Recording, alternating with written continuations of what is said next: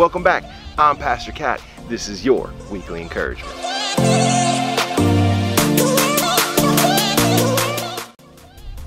Well, this week I've been thinking about rankings. I have two of my own kids who are looking to college. One who's almost ready to go, and one that is just beginning to search exactly what they want to do. And that got me thinking because we spend all this time looking at college majors and which college is best for our student based on academics or the program they want to go into or what it costs. And there's all these sites on the internet that will rank these things. I started to think about that because we rank so much in our lives. Our favorite bands, our favorite like restaurants, our favorite movies of all time. We can come up with lists all day long.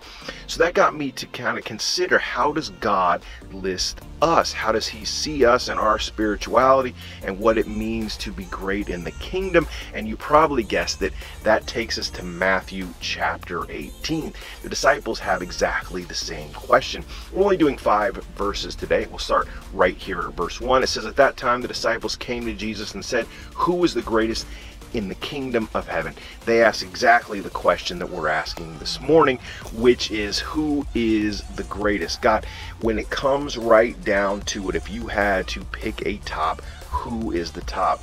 And I think you might be surprised at Christ's answer. So Christ looked to the side, verse 2, and he says, He called to a child to himself and he set him before them, and he said, Truly I say to you, unless you are converted and become like children, you will not enter the kingdom of heaven. Whoever humbles himself as a child, he's the greatest in the kingdom of heaven. So, to be the greatest in the kingdom of heaven, we have to start with humility.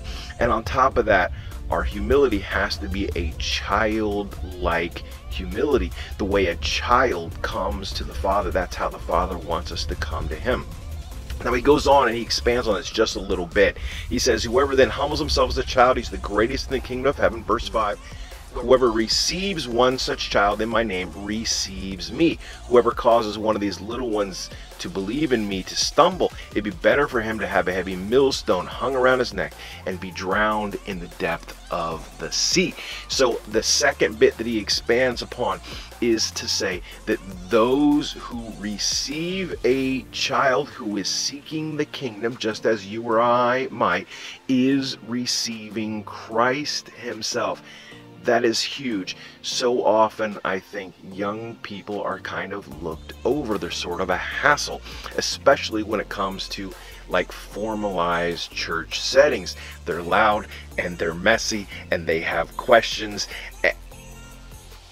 and they're just in the way in a lot of ways from an adult's perspective. Christ is exactly the opposite. We need to receive those little ones who have that childlike faith on top of that, not only is it like receiving Christ, but those who cause them to stumble, who put strange bits of theology or questions in their mind, or put them out because they're just in the way, it's better for them to have a millstone hung around their neck and be thrown in the sea that's pretty heavy. So my encouragement this week is very simple. One, if you're concerned about how God sees you, you might want to check your humility. Are you as humble as God has called us to be?